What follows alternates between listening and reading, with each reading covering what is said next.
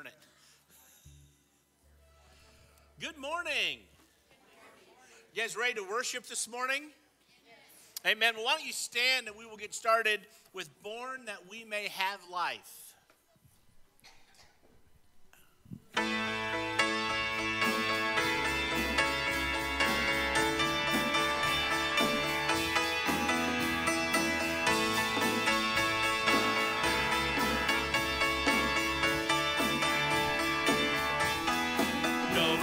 Reputation, no stately bearing, no palace bed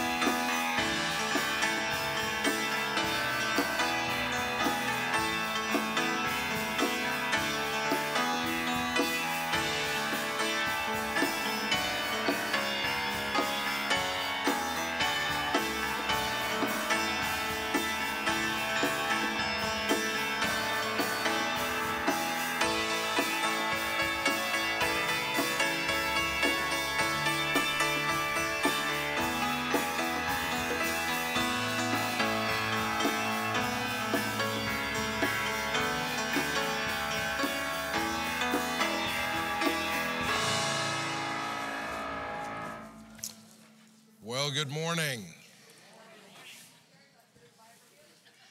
It is great to welcome you to the house of the Lord this morning. Are you glad to be here?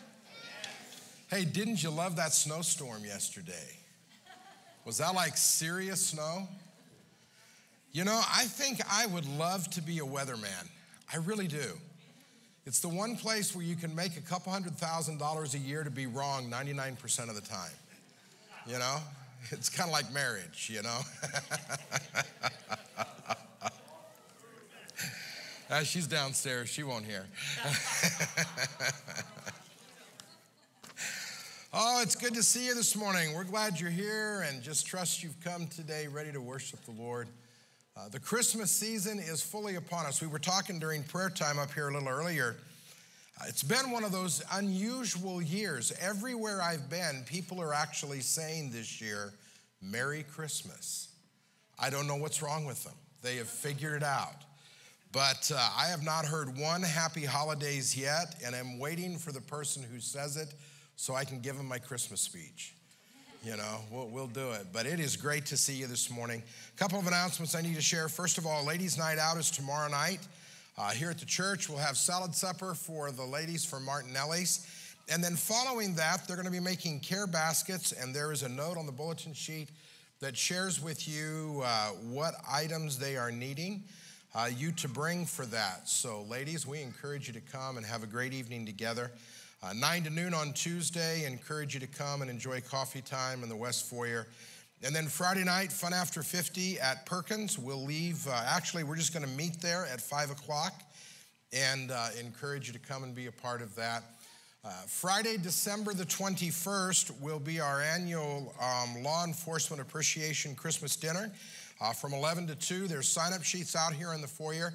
If you could please make sure and sign up, that will uh, help us know exactly where we're at in terms of what we need to do in terms of planning for that. And uh, we also have a sign up area out there of the number of workers we need. Uh, last year, we were so incredibly overstaffed, people stood around not knowing what to do. And so we've kind of laid things out this year so that uh, everybody will have an assignment and that will help us uh, in the process. Uh, today, we would like to encourage you to help us wrap up our Shilling staff uh, Christmas gift. Uh, we are doing $10 Amazon cards for uh, everybody, all of our, all of the staff there at Shillings. Uh, Don, where are we? I know we were at 45 Thursday. Okay, we're 45 out of 75 cards, so we're $300 away on that. And if you're able to help us with that, we would appreciate so much uh, your participation in that. She's got three. We're at 48. Hallelujah. So uh, we appreciate your, your help with that. Uh, one of the celebrations that comes out of my past uh, is the celebration of Advent. I grew up in a very liturgical church, uh, very high church, where, where we had the Old Testament reading and the New Testament reading and the Psalm reading and the gospel reading, and we had the words of Jesus in red. And every Christmas, we would celebrate around the Advent candle. And it was interesting when I came into the Church of the Nazarene uh, back in 1979, absolutely nobody at Denver Lakewood had a clue what an Advent candle was. And we get to Christmas and it's like, where's, where's, where's the Advent candle? And people had no clue. And what I've discovered over the years pastoring is that a lot of folks don't really understand the whole symbolism behind the Advent wreath and the Advent candle. Now, it's interesting. Advent began back in about the seventh or eighth century as a Catholic tradition in the church. Uh, it was a part of the way of communicating the gospel and the message of Christ, the coming of Christ at Christmas. And during the Middle Ages, the Protestant church said, you know, there's something absolutely significant about using a candle and using the, the symbolism of what each candle means to help us remember why we worship the Lord during this season. Uh, last Sunday morning, we lit what was called the prophet's candle. Uh, the candle of hope that tells of one who would come, who is uh, Messiah, one who comes to bring to us hope and everlasting life, the gift of eternity. something that can be found, and we hope we have a lighter that works. Something that can be found only in the Lord. And as I lit that candle last night, the one thing for me that I think was extremely important, uh, especially growing up, was the realization that when the prophets spoke of the coming of Christ, they spoke of something they could only believe in, something they could only hope for, something they could only see in the future. Isaiah wrote 600 years before Christ came that he would come and he would be called Wonderful Counselor, Mighty God, Everlasting Father, the Prince of Peace. Uh, those who heard those words in that day had a hard time understanding what it was all about. They, they really couldn't figure out how Messiah would fill all of those roles. Uh, but he did. And this morning, he has come to us as a message of hope that gives to each one of us this, this day uh, life everlasting. Uh, the second candle in the Advent wreath is what we call the Bethlehem candle. It is the candle of faith. The, the candle that links the faith of a young maiden with a great big God who said something extraordinary is going to happen in you and through you, and you will give birth to a son and call his name Jesus. Uh, Luke's gospel, it says, It came about in those days that a decree went out from Caesar Augustus that a census be taken of all the inhabited earth. Uh, this was the first census taken while Quirinius was governor of Syria, and all were proceeding to register for the census, everyone to his own city. And Joseph went up from Galilee, from the city of Nazareth to Judea to the city of David, which is called Bethlehem, because he was of the house and family of David. He went there in order to register along with Mary, who was engaged to him and was with child. And it came about that while they were there, the days were completed for her to give birth. And she gave birth to her firstborn son, and she wrapped him in cloth and laid him in a manger because there was no room for them in the inn. In the same region, there were some shepherds staying out in the fields and keeping watch over the flock by night. And an angel of the Lord suddenly stood before them, and the glory of the Lord shone around them, and they were terribly frightened. And the angel said, Do not be afraid, for I bring you good news of great joy which shall be for all the people. For today in the city of David there has been born for you a Savior who is Christ the Lord. Today, our faith links with the divine message.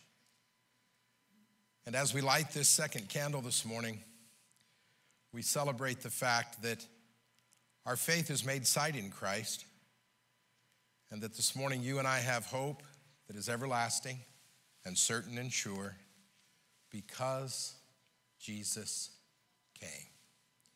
Join me in standing and let's worship the Lord as we sing together of the candle of faith.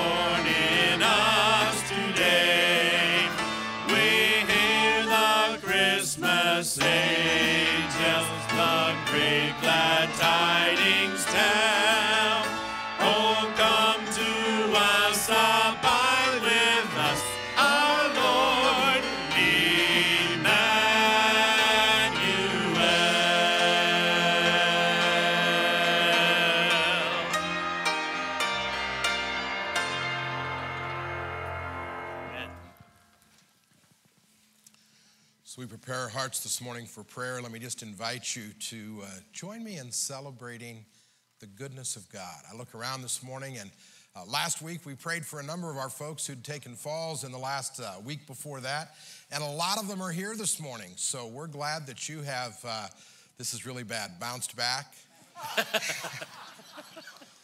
just came, it just came to me. I That just had Pastor to do it. John Philippi. I'm just saying. Yeah, I just, yeah, I just, I just had to throw that in there. But uh, we're glad, we're glad you're here this morning. And, and I don't know about you. This year for me, Christmas is a little different. Uh, there are parts of it that are really, really hard. There are parts of it that are so filled with wonder and joy. And as I come to the Christmas season this year, there's just one prayer that I'm praying over and over. And that is that, Lord, you would help me to rediscover you in a new and a fresh way. That moving beyond the mundane and the, the typical and, and all of the ritual that's a part of Christmas as a pastor year after year after year, help me just discover you fresh, new. And I want to invite you to join me in that prayer this morning. That as we come before the Lord, whether you have a need, a burden, or a request, or whether your heart's just full of praise, I just want you to say, Lord, I want to set everything else aside, and today, I just want to discover you fresh. I want to sense your nearness, your presence, your power, your love, your grace. Help me to recognize that you have come for me.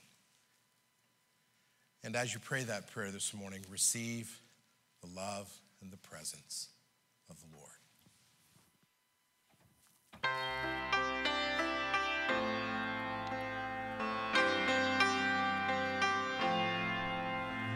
What hope we hold this starlit night.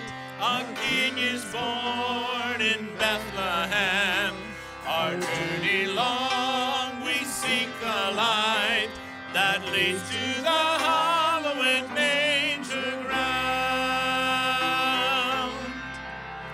What fear we felt in the silent age, four hundred years can he be found, but broken by a baby's cry, rejoice in the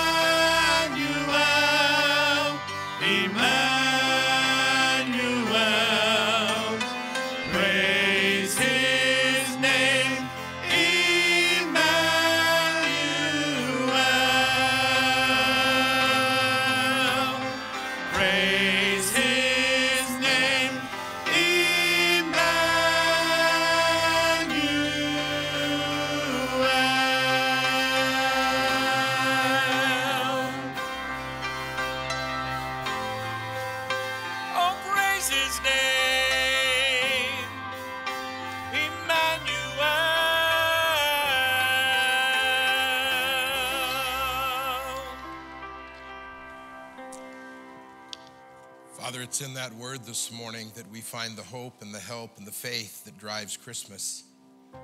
Emmanuel, God with us. It's hard to imagine, Lord, how you, the King of Kings, the Lord of Lords, the Creator, the Sustainer, the one who made all that is and holds it in its place, would choose through your Son to come to us. We who were lost and sinful who had strayed from you and made conscious choices to live in our own strength.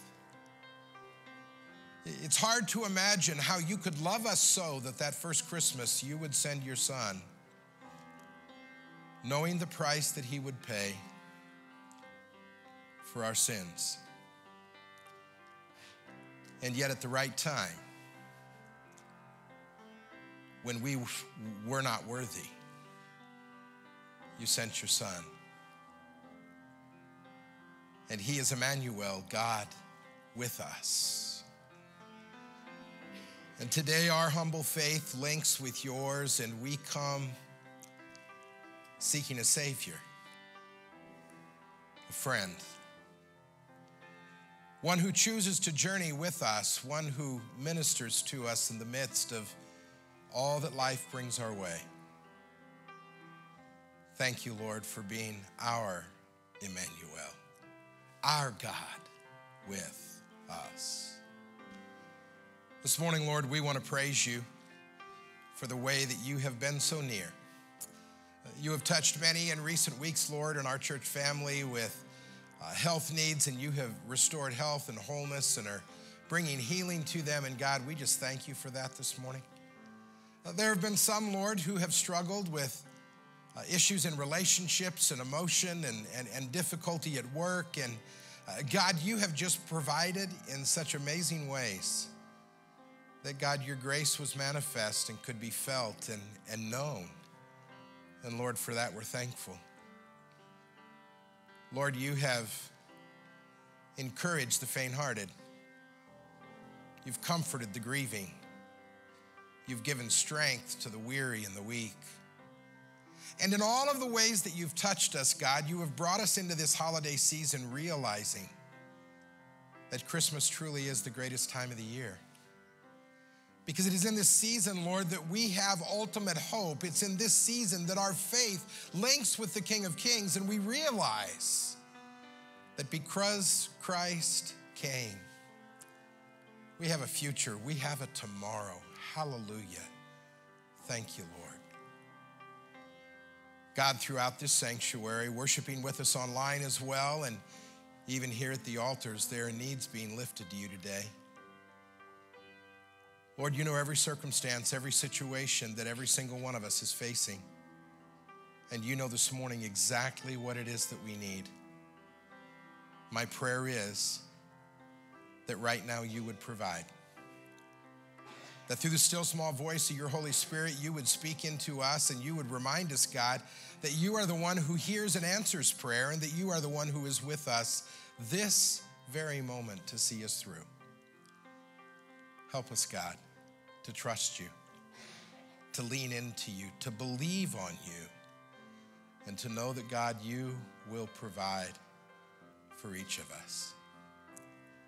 Thank you, Lord, for your love and the way that you grace gift us over and over and over again. As we give to you in a moment, Lord, our, our, our tithes and our offerings, I just pray, Lord, that you would receive all that we give as, as, as a, a sign of our love back to you.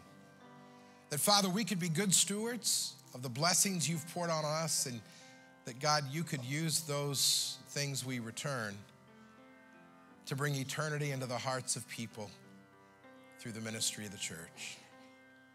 Hear our prayers this morning. And now, Lord, receive our, our, our blessing as we bless you back for blessing us. In the wonderful name of Jesus, I pray. And all God's people said,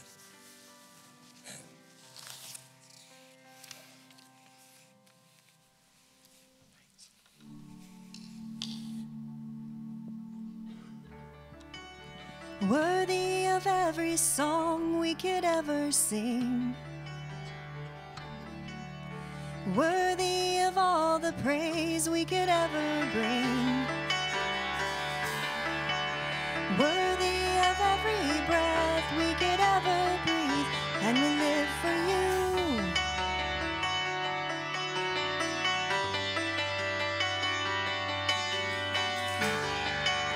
Jesus, the name above every other name.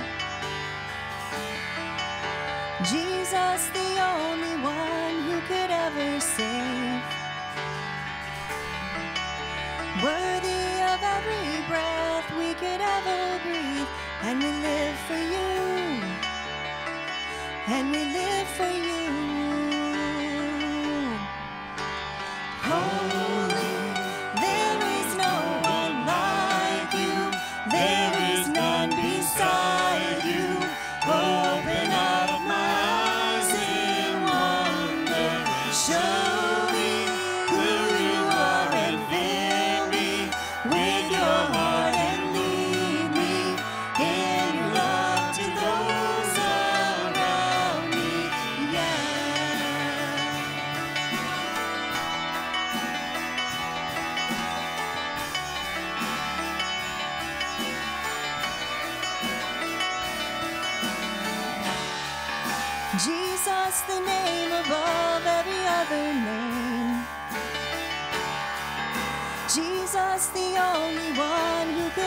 safe.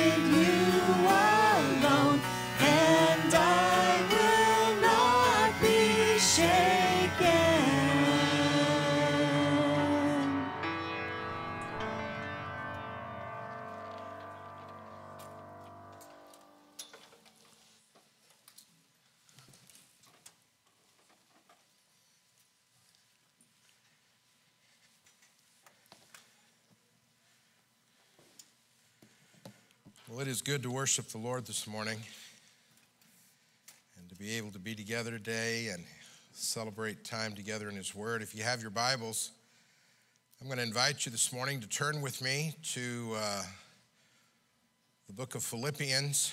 And when you find the book of Philippians, I want to invite you to uh, put your right index finger there and shut your Bible and then open it back up and find Mark chapter 10 and in a few moments, we're going to wind up there. Uh, Philippians chapter 2 is where we'll begin, and then we'll go to uh, Mark uh, chapter 10, and I'll read there first. And it says Luke on the screen, but it's actually Mark. And uh, they come from the same Bible at least. Four o'clock in the morning, things get typed a little crazy. Last week, we began Advent by talking about the fact that Jesus came to be our King. Uh, he came preaching a very simple message uh, that we read in the Gospel of Matthew that said, uh, Repent, for the kingdom of heaven is at hand. Uh, into a world that was hostile and broken with sin, uh, he came as King of Kings and Lord of Lords and brought the one thing that the world could not find on its own, and that was the message of hope. Uh, that hope came not because Jesus was just another voice speaking it, but because his voice was the only voice. Uh, the only voice that could bring hope to all of the heartache, that could bring hope uh, into the midst of all of the hurting, the only voice that could bring life and peace and joy uh, to a world that desperately needed it. That message of the King was a powerful message. A message that shared, in the words of the angels, good news of great joy, which is for all the people. Uh, good news that you didn't have to stay the way you are, lost and broken. Grace is available to provide forgiveness and help and healing. Uh, good news that communicates to us great joy in the midst of all of the the hurt and the heartache of the world in which we live, where the absence of peace is so profoundly felt, there was this assurance that joy had come that brought a deep settled sense of peace into the hearts and into the lives of those who responded and welcomed the Christ into their lives. It was good news of great joy, which was for all people.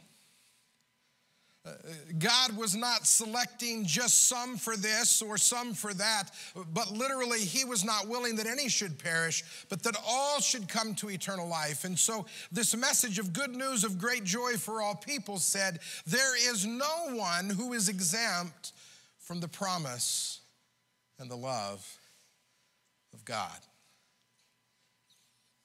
That's good news.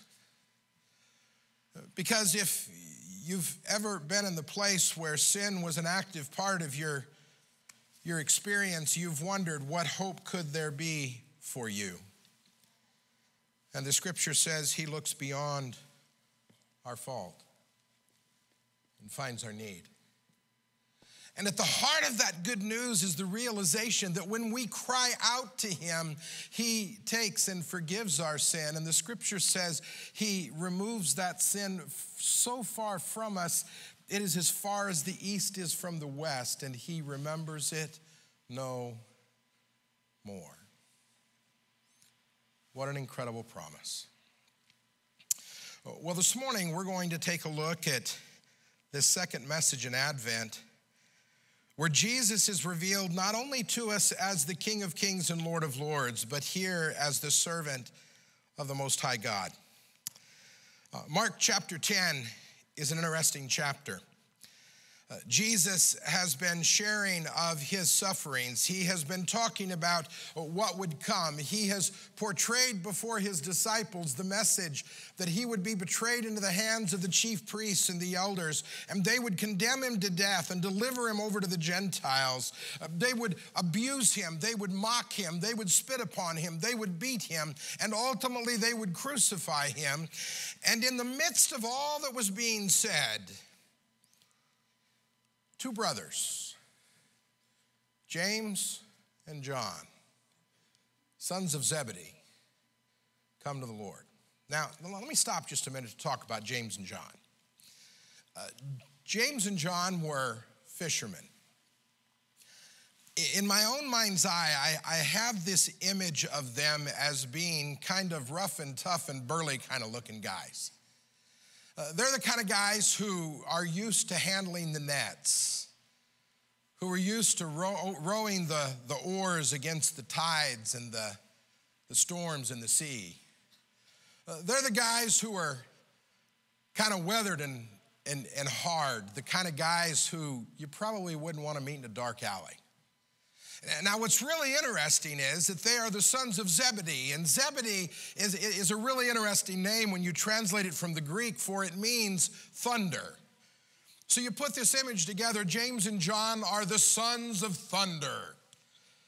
And, and Steve, I get this image of guys wearing leathers and a vest. They got their colors on. I mean, they've just got the goods. They are, they're the real deal. And one day, as Jesus is talking about all that's coming, they, they sat down, and, and Jesus, well, he has to address them. James and John are thinking um, they're a little more than they ought to think of themselves. And, and they actually say to the Lord, Would you just grant? That we would have the right, Lord Jesus, when you come into your kingdom, to sit on your right and on your left hands. After all, we are the sons of thunder. And Jesus gets a little indignant. And he begins to speak to them, and his, his words are interesting. He says, You know that those who are recognized as rulers of the Gentiles lord it over them their great men exercise authority over the people. But it's not this way among you. For James and John, whoever wishes to be great among you must be your servant. And whoever wishes to be first shall be a slave of all. For even the Son of Man did not come to be served, but to serve, and to give his life a ransom for many. Now, now I paused there long enough to think about what they must have thought in that moment. How they must have moved from this spirit of um, entitlement and power and prestige, saying, You know, Lord, look at me. I deserve to be located amongst the great in your kingdom. And now suddenly have him say, Oh, by the way, if, if you want to be great, you've got to be the least. If you want to be recognized, you've got to be a servant. If you want to be where I am, you have to do what I'm going to do. And that is to give my life as a ransom for many. Something tells me James and John probably withdrew their request. They just kind of suddenly were like getting a little sheepish, sliding into the background. Don't want to have to let Jesus see me here. But in his words, there is a message that for us is transformational when we think about the Christ of Christmas. Paul would add to the words of Jesus. And in Philippians chapter 2 at verse 5, he would share this phrase have this attitude in yourself, which was also in Christ Jesus, who, although he existed in the form of God, did not regard equality with God as a thing to be grasped, but rather, he emptied himself taking the form of a bondservant, being made in the likeness of men, being found in appearance as a man. He humbled himself by becoming obedient to the point of death, even death on a cross. How did Jesus put it? For even the Son of Man did not come to be served, but to serve and to give his life a ransom for many. That message in Mark 10, and boy, I keep getting the wrong version up there. That message in Mark 10 is a powerful one. The disciples, at least two of them, want special favor. They want to be placed in a position of authority and power. Now, uh, let's be honest, we could probably understand that. They've always been fishermen. They've never really known much more than casting nets and trying to get a stink off their hands. They couldn't get off their hands. Everywhere they went, people would, yep, there's a fisherman among us. Uh, they, they, they're, in this place, in this, this environment where they would do anything to be something other than what they are. They wanted to be singled out. They wanted to be recognized. They wanted to be special. They wanted to attain what they could not attain on their own. And then Jesus reveals how difficult their ask really is. You see, James and John, what you want, you can't have unless you're willing to do what I'm going to do. James and John, you can't go to the place you're wanting to go unless you're willing to go to the place that I'm going. Uh, James and John, I want you to understand what you are asking is something you can't ask unless you're willing to lay down your life like I will lay down my life for you. In the end, their request is absolutely denied. They're put in their place. They're left to wonder what the absence of further words means. And I think in the end, there was probably a spirit of angst amongst the other disciples towards them. They stepped over the line. They didn't understand what they were asking as Paul begins to deal with this whole subject of being a servant, he, he uses a really unique phrase there in, in, in Philippians chapter 2 when he says uh, in, in verse 7 that Jesus emptied himself and became a bond servant. It's a Hebrew concept that's rather interesting. On the, the year of Jubilee, when all property and all rights were transferred back to original owners, when slaves were released and, and everything was set free, when debt was forgiven and life was put back to a sense of normalcy, a bondservant was one who was given the right to be free to do as they please, to go where they want, to no longer be a master, be mastered by anyone. But instead they chose to stay in the service of their master. Scripture tells us in the Old Testament, when they made that decision, they would be taken to the gate of the city and their ear would be pierced with an awl and a earring put in it that symbolized the fact they had become a servant for life. They had the option to go free. They had the option to do as they pleased and, and go where they want and, and be a part of whatever they wanted to be a part of, but they chose to serve forever under the authority of another. Words we find reflected of Jesus when he says, Father, let this cup pass from me, but nevertheless, not my will, but your will be done. It is this incredible image, this incredible statement of Christ saying, Though I could have my way and do whatever I pleased, I choose the service of my Father. And that call to be a servant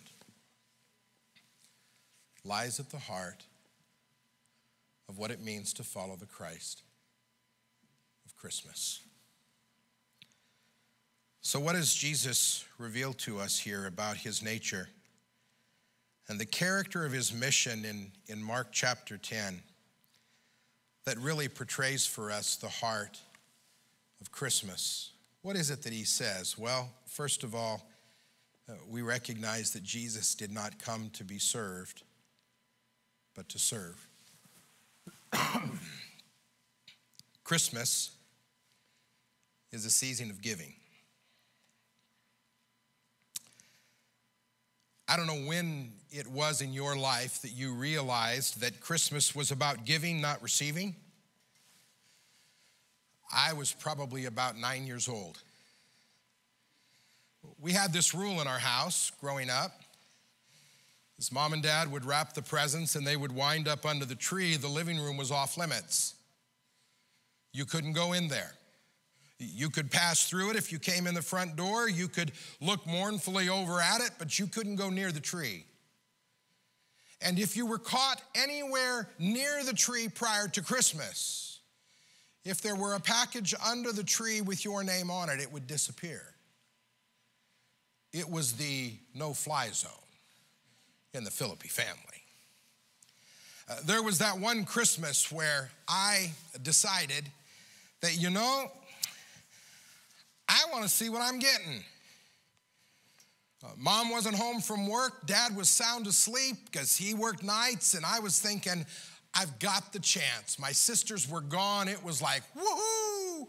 And I went to the living room and I found a present with John on it, and I shook it, put it back.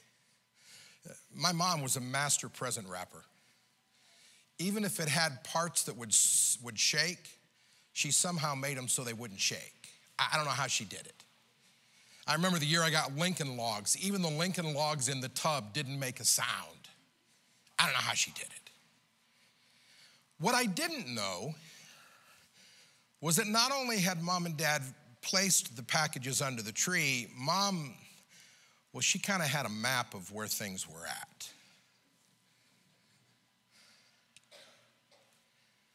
I call that extreme and psychotic, but it was, you know.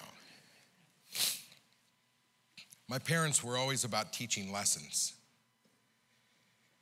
And that Christmas,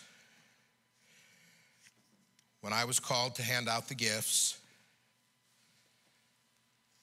I came to the very quick realization that there was nothing in my pile in the corner.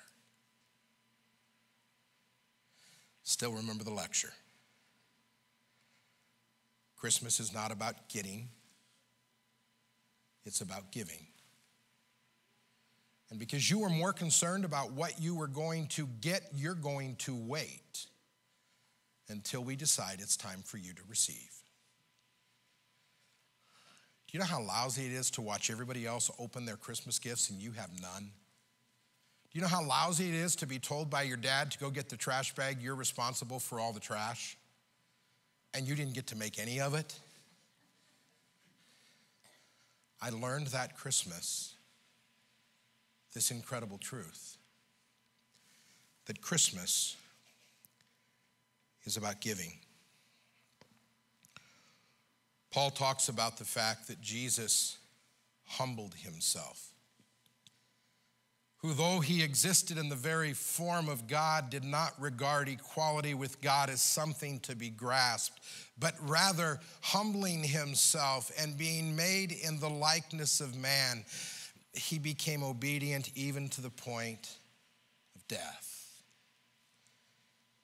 Jesus understood that serving means giving that if you and I are going to be all that God wants us to be, we must be willing to empty ourselves of every sense of right and privilege and allow Him to work through us to bring change to a world.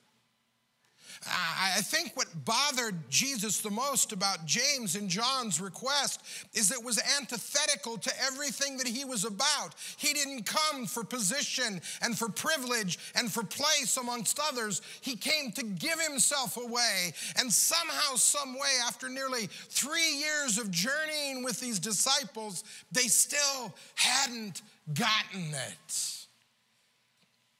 And I wonder if we have. How often in our lives do we exhibit a spirit of entitlement? Where we think we deserve this or we deserve that, where we think we're special and people ought to recognize us. When in reality, Jesus is saying to us, be humble, empty yourself. Give.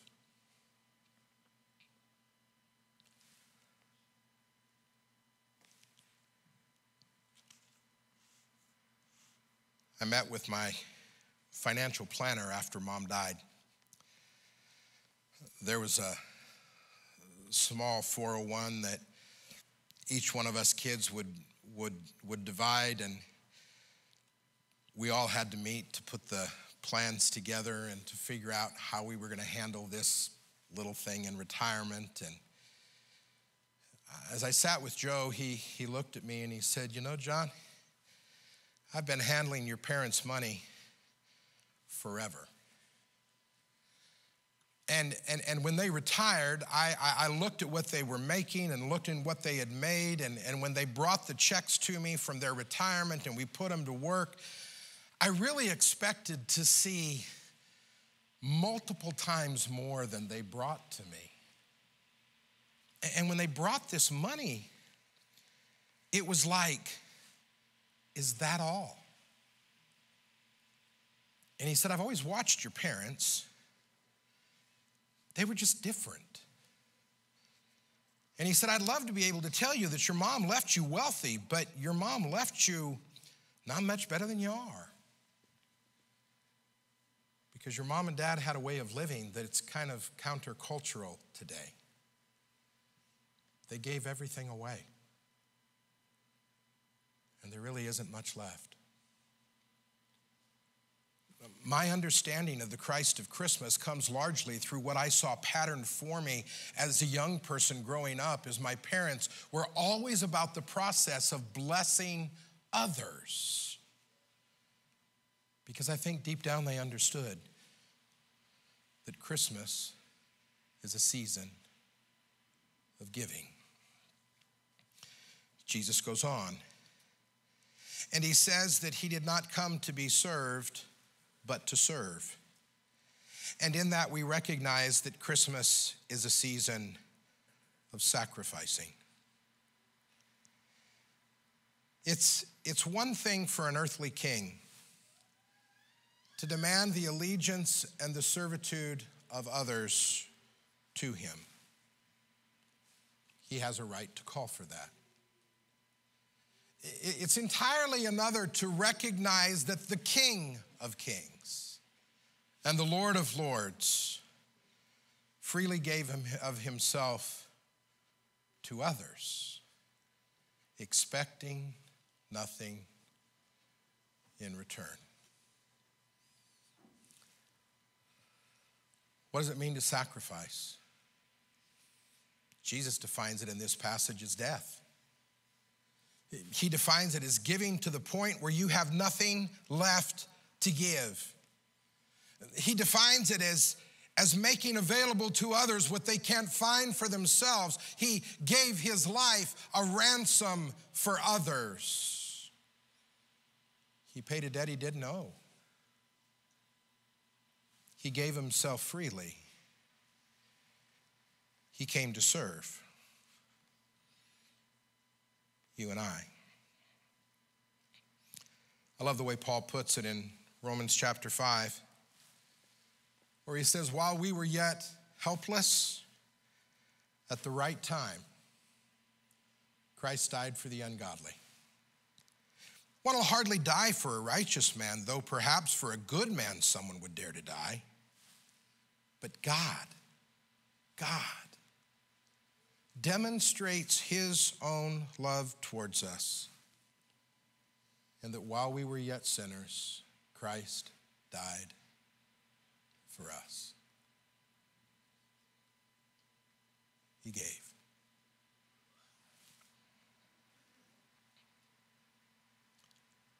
My greatest examples in understanding Christmas have always come from my parents. You'll hear me through this series of messages talking about lessons I learned from mom and dad. My mom worked in healthcare for her entire career. She was always in management. Um, she was just one of those kind of people who gave and gave and gave. Holidays around our house were always interesting because mom had this policy uh, that said, I will always work Christmas so my girls, her nurses, could have it off. Uh, she would go throughout the area of the hospital that she was responsible for. At that time, she was uh, nurse manager for, for Denver St. Anthony Central Hospital, and it was a huge hospital, and uh, there were lots and lots of nurses, and she would find the places that were most understaffed, where the needs were the greatest, and she would say, I'll cover this shift and this shift and this shift and this shift. And it wasn't uncommon for mom to pull doubles and triples over the holidays just to be gone so that others could be with their family. Christmas for us was whenever we got around to it. Wasn't on the night of the 24th or the day of the 25th. It, it just happened when mom finally didn't have to go to work. And she taught me the value of making certain that Christmas is about sacrificing about giving, about serving, about loving for the sake of others. Over the years, that's always meant for Debbie and I that, that we do whatever's needed in the church or in the community to help those around the holidays. It's what we taught our kids, it's how we live because I think that's what Christmas is supposed to be. Instead of saying that it's all about me, it's recognizing that it's really all about them, others. And the moment we get to the place where we truly understand that, that Christmas is a season of giving and Christmas is a season of sacrificing, then we can come to understand this third truth. Where Mark chapter 10, verse 45 says that he came to offer his life a ransom from others. He, he came to give himself away, which teaches us that Christmas is a season where the focus is never on self, but always on others. Hank will remember the blizzard of 82 in Denver, Colorado. Craziest snowstorm I've ever seen in my life. Uh, Debbie and I had flown home for Christmas. Uh, we had been the last plane to land on Christmas Eve in Denver. We were scheduled to land at 10 o'clock in the evening. Christmas Eve, we actually landed about 12:15 Christmas morning. And we were the last flight to land at Denver International before they closed the airport for a week. Third busiest airport in the world, closed for a week. Got home to mom and dad's about 1.30 in the morning and went to bed and, and everybody was tired and we were excited. We were actually going to get to have part of Christmas on Christmas Day. And about 4.30 in the morning, bear in mind I've only got a couple hours of sleep, dad comes to my bedroom and he says, son, I need you to get up. I said, dad, what's the matter? He said, it snowed last night. I said, Well, duh, it was snowing when we got here. They closed the airport. He goes, Oh, no, no, it snowed last night. And I said, Well, how much snow did we get? Six inches? He said, John, there's 32 inches on the driveway in three hours. It snowed. And my dad says, we're going to go scoop all the walks in the neighborhood. I had lots of thoughts, and none of them had anything to do with Christmas. Uh, My dad had a snowblower that was like half the size of this platform. It was huge. It cut a, a 36 inch wide uh, swath, 42 inches tall. It had a 25 horse motor on it. It had a three stage blower on it, and you could throw a baseball six city blocks. It was great. He took that one. I got the shovel. And we started doing the walks and the driveways. Five houses to the east, five houses to the west, three houses to the south. The north was a backyard, couldn't go there. Then we did ours. Three car driveway, seven miles long, felt like it anyway. We got it all done. And dad looks at me and he says, I'll bet there's a lot of people stuck. Let's go get them unstuck for Christmas. And we put the chains on his pickup and we put the chains on the Jeep and we hook them together by the tow bar so we've got eight wheels going forward.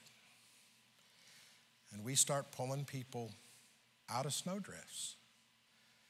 And, and the best thing of the day was, was pulling a city bus up Lowell Boulevard. It was cool. They took an offering for us. It's kind of weird. We unhooked the chain. The driver comes out with a hat, said, This is for y'all. We said, No, give it back. We're just having fun. We got back to the home, the house that day. I don't know, it was two in the afternoon. And um, everybody was kind of looking at us saying, You guys are crazy, you're idiots, you're stupid. I don't know what your problem is. What are you thinking? And I'll never forget the words of my father. If we wouldn't have done what we did, they wouldn't have been able to have Christmas. That's why we did it.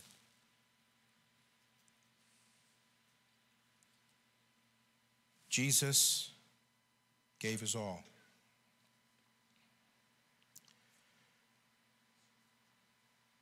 Because it's the only way we can have Christmas.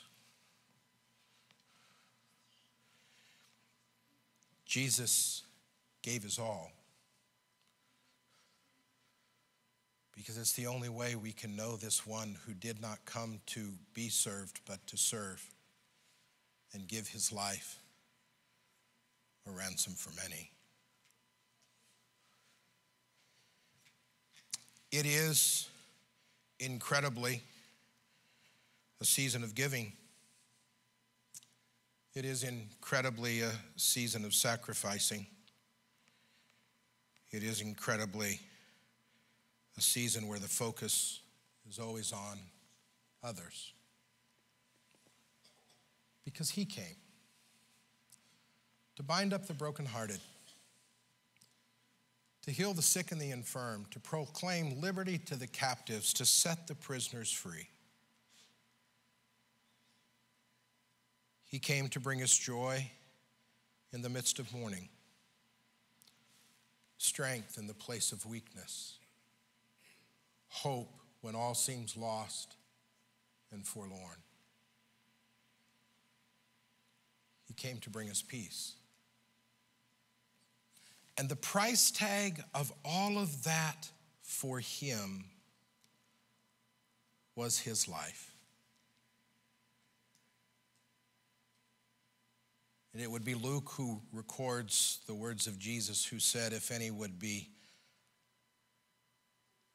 fully taught as a follower of Jesus, he or she would be like his teacher. So this morning we must be giving and sacrificing and always put others first. Jesus came not to be served, but he came to serve and to give his life a ransom for many. Is that the way we're living this incredible season? Do those words describe you? You see, to truly worship the Christ of Christmas,